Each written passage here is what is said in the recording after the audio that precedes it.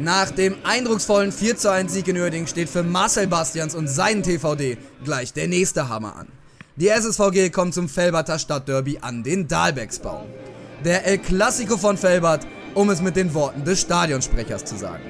Die Gäste mit Patrick Schikowski in der Startelf beendete im Sommer seine Profikarriere beim SC Verl wegen seines Medizinstudiums und trifft heute auf seinen jüngeren Bruder Florian Schikowski. Er seit zwei Jahren beim TVD. Die leicht favorisierten Gäste starten gleich mal mit richtig Feuer in die Partie. Machtemes hat hier zu viel Platz. Im Doppelpass mit Hilga. Max Machtemes. Zweite Minute, der Blitzstart für die Gäste. Der TVD, mental scheinbar noch nicht so ganz auf dem Platz, lassen Machtemes hier viel zu viel Platz. Der steht im Doppelpass mit Hilga dann klar nicht im Abseits. Und der Abschluss ist einfach stark. Traumstart also für den neuen SSVG-Trainer Dimitrios Papas. Danach erstmal ganz viel Leerlauf. Bis auf diese Halbchance vom TVD passiert bis zur Trinkpause nämlich nichts mehr. Da erwartet Bastians von seiner Schallzentrale um Spielmacher Schikowski natürlich deutlich mehr. Die 30. Minute. Ecke Schikowski und der landet bei Di Gaetano. Draußen wird bereits gejubelt, aber das Außennetz verhindert den dritten Saisontreffer vom quirligen Mittelfeldspieler. Danach wird es erstmals ruppig auf dem Platz. Denn Glavas kommt hier gegen Diallo deutlich zu spät. Die erste gelbe Karte der Partie. Die Hausherren kommen jetzt immer besser ins Spiel. Schikowski, schöner Steckpass für Kluft. Der Ex-Profi testet nach 36 Minuten Keeper Lenz. Nur eine Minute später. Der TVD weit aufgerückt und die Möglichkeit für die Gäste zum Kontern. Mit Diallo, Schikowski, Zuckerpass und Diallo vergibt kurz vor der Pause die Riesenchance aufs 2 zu 0. Knappe Pausenführung also für die SSVG und während die meisten Spieler schon auf dem Weg in die Kabine sind, wird auf dem Platz gleich mal Fehleranalyse betrieben. Papas musste Innenverteidiger Duschke bereits in Halbzeit 1 verletzungsbedingt rausholen. Bastians reagiert mit dem jungen Leon Bachmann zur Pause erstmals. Er ersetzt den gelb vorbelasteten Glavas. Rein in Durchgang 2. Und er startet erstmal wenig ereignisreich. Bis zu dieser Chance von Robin Hilger. Schöne Ballkontrolle, aber der Abschluss ist dann zu wenig.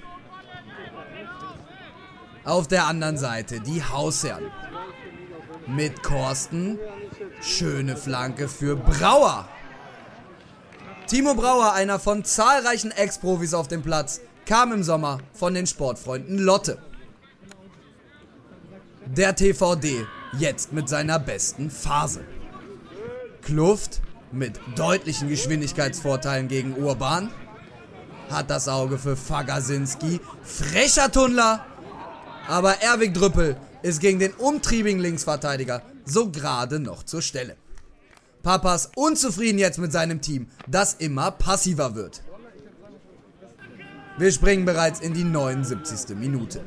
Der eingewechselte Oteng Ajay mit einem kleinen Tänzchen auf der Außenbahn für Fagasinski und in der Mitte Adi Belli. Der eingewechselte Youngster kam im Sommer aus der Jugend von Fortuna Düsseldorf mit der Riesenchance zum Ausgleich. Zwei Minuten später mal wieder die SSVG mit Diallo. Die Situation scheint durch. Remo hakt nach, ist dann aber zu eigensinnig. Dann ein Schockmoment für die Gäste. Keeper Marcel Lenz muss behandelt werden und nach kurzer Zeit steht fest, es wird für ihn nicht weitergehen. Er wird ersetzt durch Gomoloch. Der TVD drückt jetzt natürlich nochmal richtig. Die 88. Minute.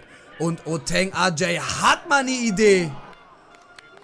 Zentimeter vorbei am perfekten Sonntagsschuss.